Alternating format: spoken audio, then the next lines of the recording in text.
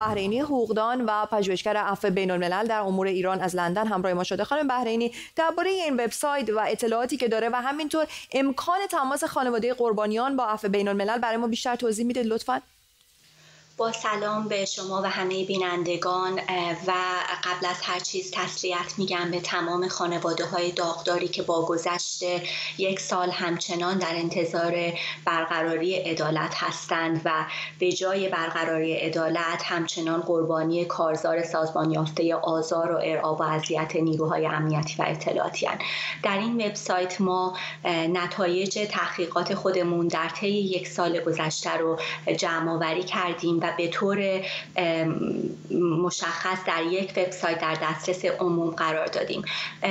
یک بخش این وبسایت مرتبط با مسئله قطعی اینترنت و اینکه چطور مقامات ایرانی با قطعی آمدانه اینترنت ابعاد گسترده کشتارهایی که در کشور در حال وقوع بود رو پنهان کردند. اینترنت در روز 25 آبان قطع شد یعنی همون روزی که خونین ترین روز اعتراضات بوده و بالای 100 نفر کشته شدند و در طی روزهای بعد با قطعی اینترنت مردم ایران نه تنها محروم شدن از دسترسی به ارتباطات ابزارهای ارتباطی برای سازماندهی اعتراضات که این نقض حق آزادی تجمع و حق آزادی بیانه بلکه مقامات ایرانی تلاش کردند که مانع بشن از اینکه ایرانیان صحنه های خشونتی که در حال وقوع بود رو به اطلاع جهانیان برسونن. با این وجود ما در این وبسایت بالای 100 ویدیو تایید شده رو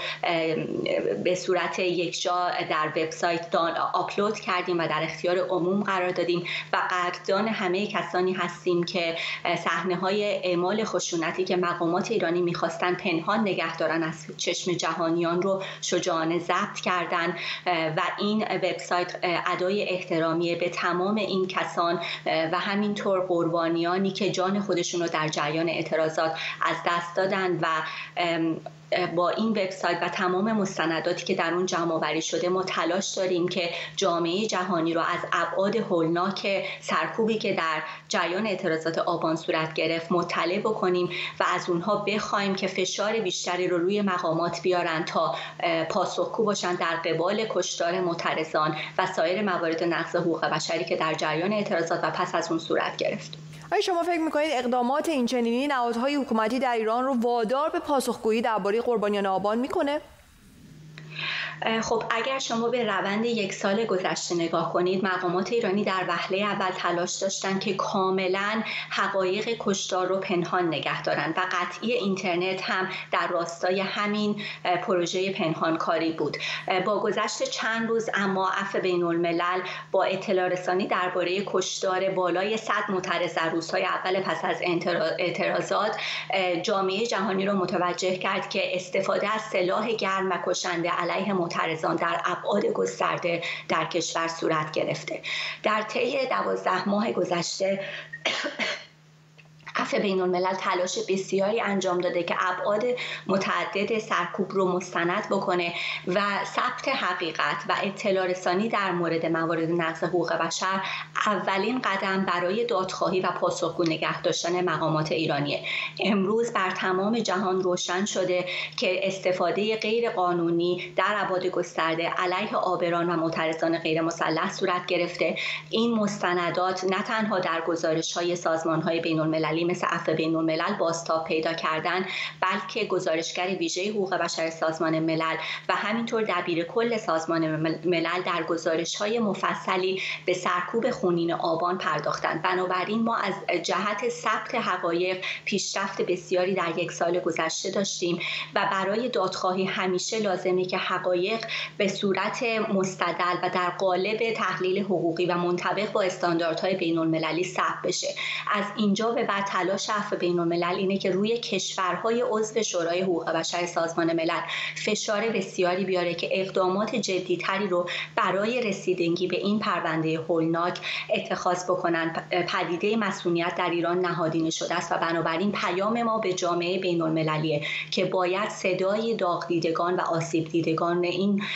کشتار رو بشنون و در سطح شورای حقوق بشر سازمان ملل یک مکانیزم تحقیقاتی رو تحصیل تأسیس بکنن که به کشتار معترضان آبران از جمله کودکان رسیدگی بکنه و زمینه محاکمه تمام عاملان و آمران این موارد نقض جدی حقوق بشر و جرایم رو در دادگاه های عادلانه فراهم بکنه. خانم بحرینی خب نهادهای حکومتی در ایران هنوز شمار دقیق جانباختگان و آسیبیدگان و بازداشت شدگان های آبان رو اعلام نکردن. جمعبندی و آمار سازمان عفو بین الملل چیه تا این لحظه؟ اونچه که ما در این وبسایت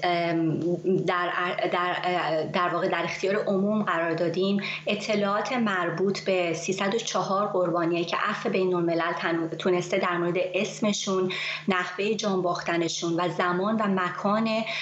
وقایع منتهی به مرگشون اطلاعات دقیق به دست بیاره. و تمام این اطلاعات الان به زبان فارسی و انگلیسی در اختیار عمومه. ما از همگان دعوت می‌کنیم که به این وبسایت مراجعه بکنن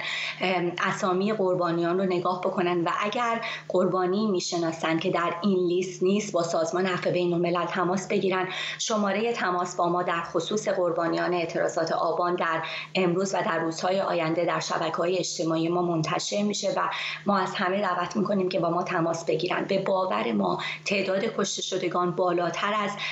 این 304 نفر جان باخته ای که ما تونستیم مستند بکنیم. اما با همین اطلاعات اطلاعات جمع آوری شده هم حقیقت و نتیجه حقوقی روشنه. مقامات ایرانی به طور غیرقانونی از سلاح گرم علیه معترضان و آبران استفاده کردند و طبق قوانین بین المللی استفاده از سلاح گرم فقط زمانی مجازه که نیروهای امنیتی با خطر قریب الوقوع مرگ یا آسیب جدی روبرو باشند و تجزیه و تحلیل دهها ویدیو از 31 نقطه در کشور مصاحبه با شاهدان عینی و بررسی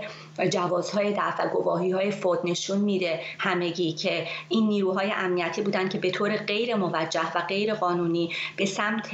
معترضان شلیک کردن و در اغلب موارد بالاتنه و سر اونها رو مورد هدف قرار دادند. متشکرم از شما رهاب بحرینی حقوقدان و پژوهشگر عفو بین الملل در امور ایران که از لندن همراه ما بودید.